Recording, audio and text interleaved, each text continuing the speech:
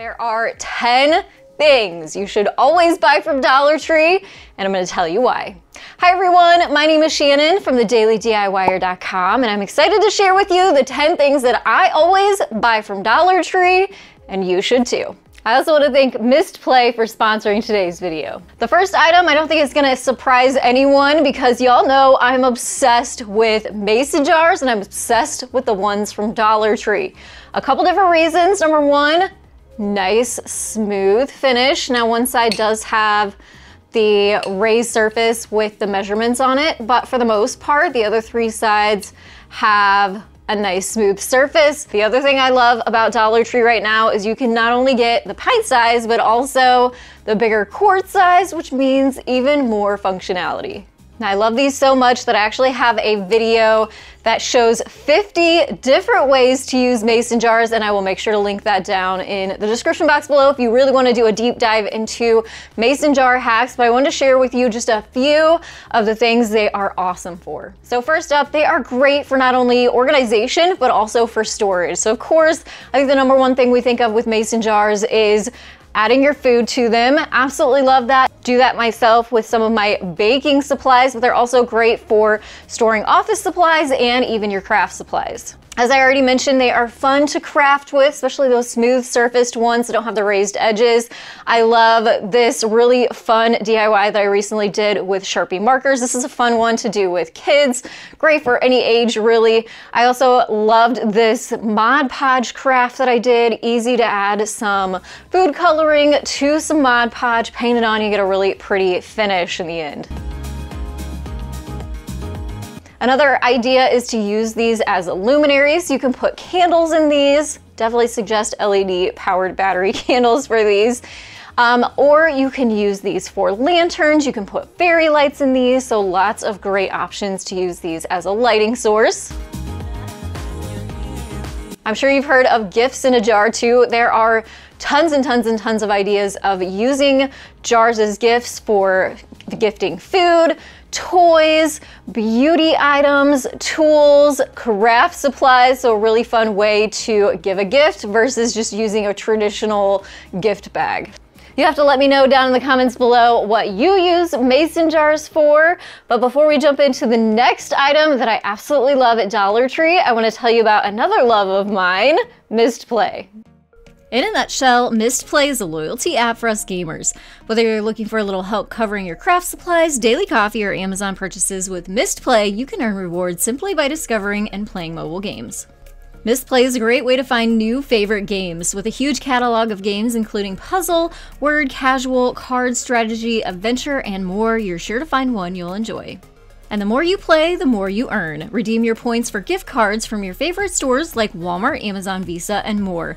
Over $100 million in gift cards have already been redeemed.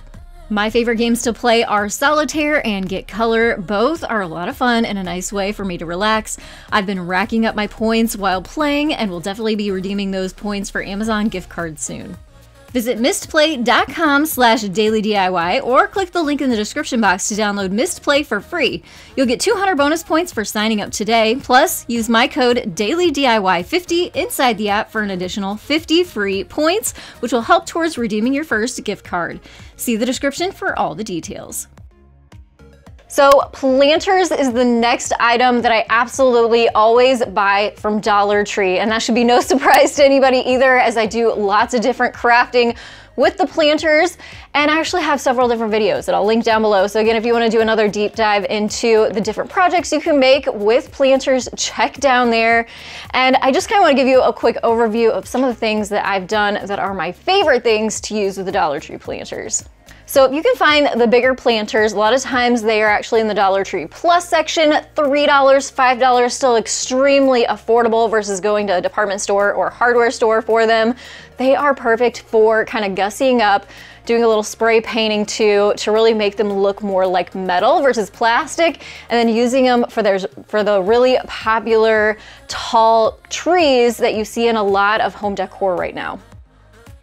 Last year, I actually made a fountain out of one of the larger planters and some pool noodles. That was definitely one of y'all's favorite. You can also use the fun little multi-vessel planters that stack for organization, great for crafting supplies, office supplies, great for a crafting night or a kid's party. And of course, great for decor. So many different things you can do to decorate with these. Obviously put a plant in them, but you can use them in your home decor too. And then I also am just giving you a fair warning right now that I do have another DIY planter video coming up. So if you're not yet, please subscribe, hit the bell notification so you get notified when that video goes live so you can see some new ideas using Dollar Tree planters. Now let's talk about rope. So of course, rope is practical, one of those items you probably just keep around the house. You never know when you're gonna need it, but it's also great for decorating with too. So I've made some really cute things, including some useful coasters, a really, really cute beehive, which also features one of those Dollar Tree planters.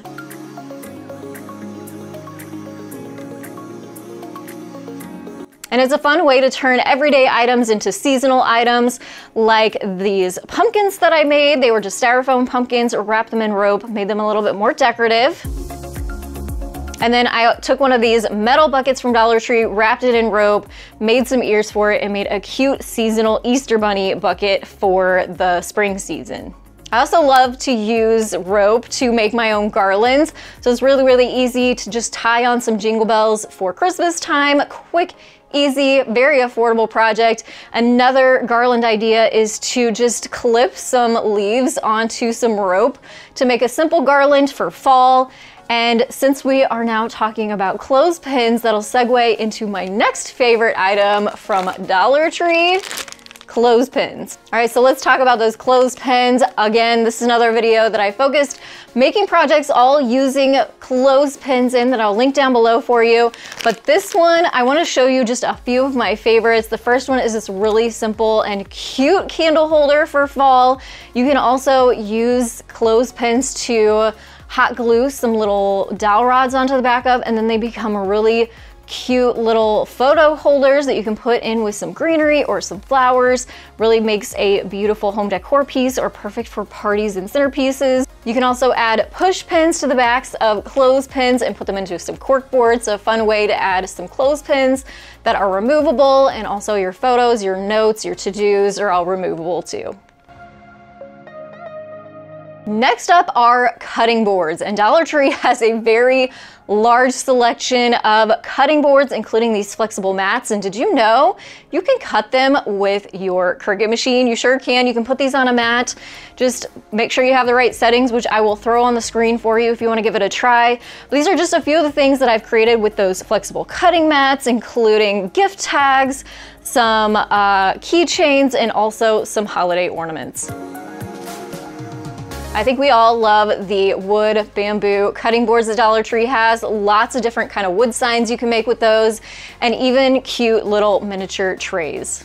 They also have glass cutting boards and they come in a couple different shapes. I'm pretty sure they have square and circle and you can actually etch with glass on those. And if you've never tried it before, it's fun to do. You just put a stencil onto the glass, put some etching paste on there. It sits for like five minutes. You wash it off, rinse it off, take the stencil off, and you're left with your design etched in the glass, which is awesome because it's permanent, so it's still functional.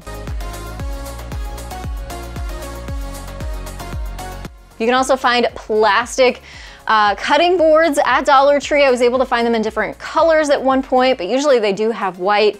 And at one point I even put the old back of a picture stand on the back of one, decorated up the front, and then made a cute little display for my kitchen with it. Wreaths. You cannot go wrong with getting wreaths at Dollar Tree. They have the foam ones, they have the metal ones, they have the grapevine ones, they have even more than that too. And honestly, it's like the best price you're gonna find for wreaths is going to be a Dollar Tree. The other wreaths that I am so obsessed with that Dollar Tree carries are their beaded wreaths. I've used these to, of course, make wreaths, even ones for Valentine's Day, and use them as decorative elements on this cute tray that I put a candle on. And you don't necessarily have to use these wreaths as wreaths. You get creative with them, just like I did with this grapevine wreath. So for this one, I set that one down, put a plate on top, and put some greenery inside of it and made a really cute centerpiece or be cute on a shelf or an entryway table Very, very cute little display for spring. Now let's talk about their canvases. Boy, do they have a variety. Some are rectangle. They even have shapes now in the Dollar Tree Plus section, including hearts and circles, which I have made a cute Christmas wreath out of the circle. Um, but there are other ways to use these canvases from Dollar Tree too. So in the past, I have made cute placemats. You can even remove the canvas from the framed canvases and just use the wood frame that's underneath it. I've used that to make a big window display and even a lantern. You can also, when you take the canvas off of the frame, keep it and save it and use it for other projects. I cut this one out and made some little hearts for a Valentine's Day garland. And of course, you can use them to make your own art.